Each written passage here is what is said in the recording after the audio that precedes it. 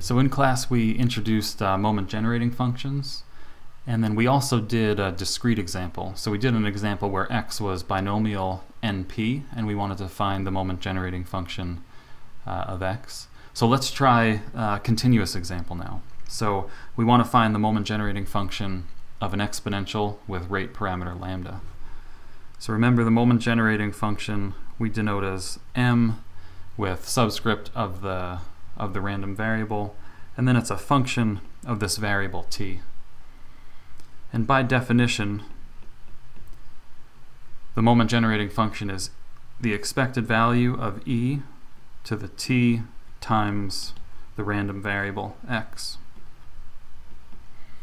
And by definition of expectation, I guess using the, um, the law of the unconscious statistician, we have uh, in this case, since we have an exponential, we'll have an integral from 0 up to infinity. So our g of x in the law of the unconscious statistician is e to the t times x.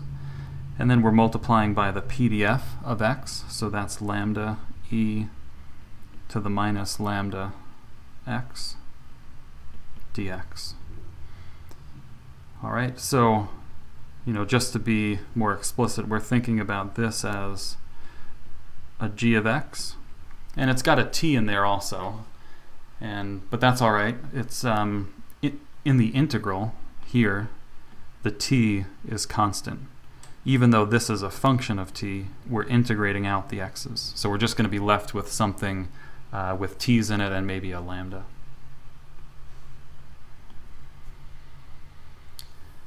All right, so let's simplify this integrand. So we've got an integral from 0 to infinity, and we've got two exponentials in there that we can uh, bring together. So we'll have a lambda, and then times an e, and then if we arrange this in a particular way, we can maybe see how to do this integral uh, easily. So e to the minus lambda minus t times x dx. Uh, so we're just multiplying those two exponentials and then factoring out a, a minus lambda minus t. So you should notice this looks pretty close to the PDF of an exponential. The only problem is there's a lambda down here and there's a lambda minus t up here. So if we switched one of them, either this here to a lambda minus t or this here to a lambda, we'd have the PDF of an exponential. That would integrate to 1. Well, I think we can do that pretty easily by multiplying by 1, and then we'll be left with an integral that's not 1, but that's you know some constant. So first, what if we um, multiplied by lambda over t or sorry, lambda minus t over lambda minus t. Take that and multiply that by our integral.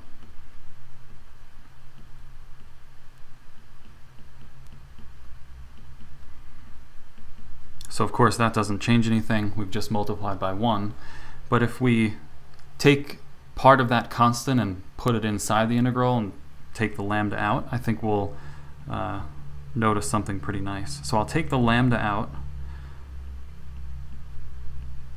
and I'll leave the lambda minus t in the denominator out, but I'll pull in the lambda minus t here, and we've got e to the minus lambda minus t times x integral over dx. And now this, you should notice, this integrand is exponential with rate parameter lambda minus t. So this here is the PDF of exponential with rate parameter lambda minus t.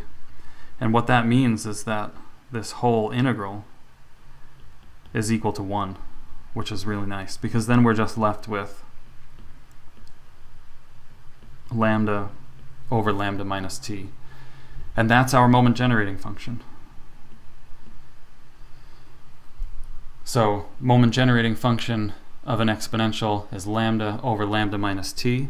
And you know, one thing that you should notice here is that this is really only true for t. Uh, we have to restrict t. So we don't want t to be greater than lambda because that would give us uh, a negative rate parameter here, which is not allowed.